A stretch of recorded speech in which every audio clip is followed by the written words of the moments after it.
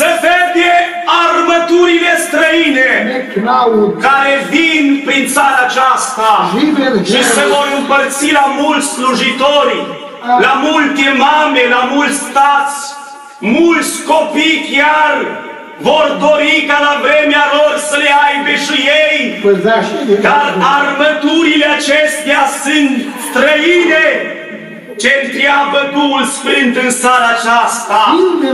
Iată, te hrănești tu cu cuvântul care are armătura toată, ca la vremea aceea să poți face diferența, căci iată ce zice Duhul Sfânt. Aleluia! Unii din popor, iată că au și început împărțala armăturilor străine. Și iată unii plătesc cu bani aceste armături, alții și le fac după poftele lor. Și iată sărmanii de ei spun că merg bine, Ai milă! dar iată, zice Duhul Sfânt, mă voi judeca și cu țara aceasta la o vreme hotărâtă. Doamne! Voi intra în cort după cort și unde voi găsi, iată, zice Duhul Sfânt, imitație și nu armătura adevărată, mă voi coborî la altoire pe unii care, iată, din cunoștință, ori da curs acestor armături, îi voi coborî în țărână. Melidos pe nervia, unora le voi îngădui un duh de rătăcire, să creadă o minciună.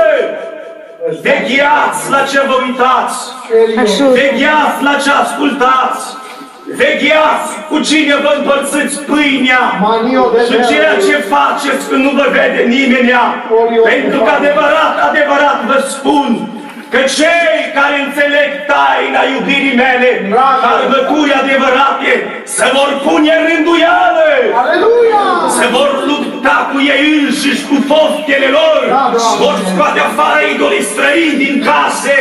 Și iată, zice Duhul Sfânt, vor alege să trăiască, dar și prin credință, Ajută-ne, pentru că Doamne. din pricina poftelor ochilor Amen. și a cezarului, Amen. iată, unii își pierd, chiar zice Duhul Sfânt copiii, unii își pierd chiar soțiși și altele soți, și iată Duhul Sfânt te întreabă ca să ai siguranță, n-ai vrea să ai armătura adevărată?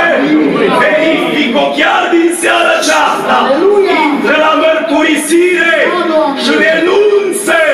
la copierea ei și caută-o pe cea reală și scripturală care te va face, știi cum?